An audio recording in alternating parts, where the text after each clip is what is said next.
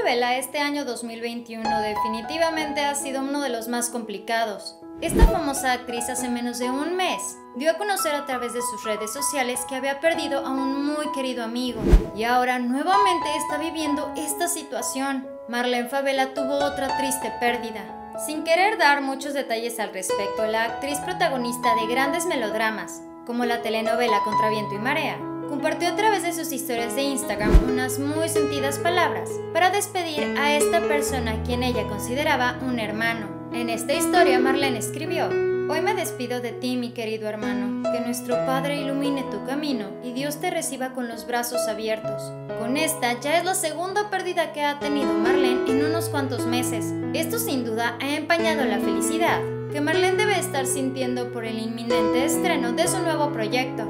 Hace poco, a través de medios de comunicación y redes sociales, Marlene Favela dio a conocer que ella sería parte del elenco del nuevo melodrama de Televisa, el cual está siendo protagonizado por José Ron y Livia Brito.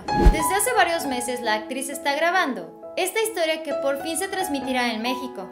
Vale la pena también recordar que desde hace varios años Marlene Favela tomó la decisión de alejarse del género televisivo que la vio nacer como una estrella. Debido a que nació su pequeña hija Bella, Marlene Favela decidió tomarse un descanso de las telenovelas, pero ahora por fortuna la volveremos a ver en la pantalla chica. En esta ocasión, aunque Marlene Favela no es la protagonista, ella lleva uno de los roles principales. Sobre esto, hace poco a través de una entrevista, ella mencionó, Estoy muy contenta, la verdad, regresar a trabajar con el güero es todo un agasajo. Esta ya es mi quinta novela con él. Me gusta mucho trabajar en esta producción. Me encantó el elenco que se formó, es maravilloso.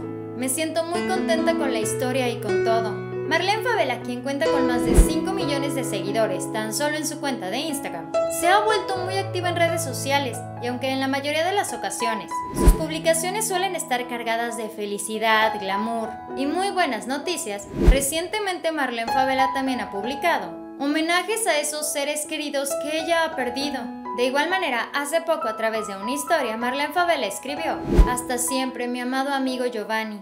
En esa ocasión, Marlene tampoco quiso dar más detalles al respecto, pero esta guapísima actriz acompañó esas palabras con una serie de fotografías, donde podemos ver la relación tan cercana que tenía con su amigo. Tristemente, muchos de nosotros hemos vivido pérdidas tan fuertes, en las cuales a veces ni siquiera nos dan ganas de hablar, mucho menos publicarlo en redes sociales, pero en ocasiones podemos hacer pequeñas excepciones para rendirle homenaje a estas personas que han sido tan importantes en nuestras vidas. Además, Marlene Favela tiene el apoyo de más de 5 millones de personas que en este tipo de situaciones le han estado escribiendo muchísimos mensajes de apoyo y consuelo ante las pérdidas.